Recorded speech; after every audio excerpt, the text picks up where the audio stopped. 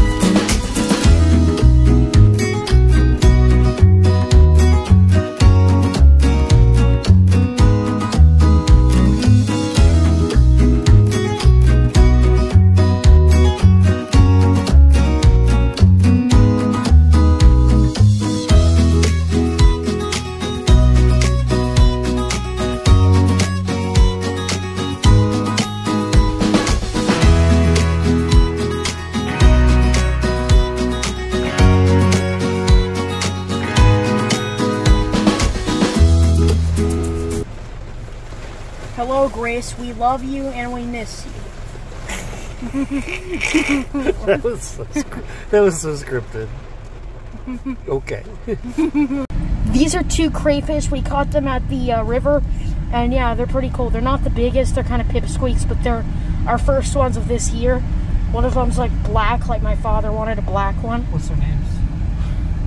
They don't have names. That one's pinching that one's tail. They don't have names because I don't remember how to tell the difference between male and female. Yeah, there's a way. Remember your book? Something under the tail or something. And I also don't know what kind they are or if they're two separate species or not because that one's black and that one's brown, so or green. So yeah. Hello, everybody. Um, my name is Box Man, as you well know. Uh, well, my... Uh, hold on a minute. We have to take two because there's a hand in the way. Day to you. Happy birthday, dear Payton. Happy birthday to you. Yay.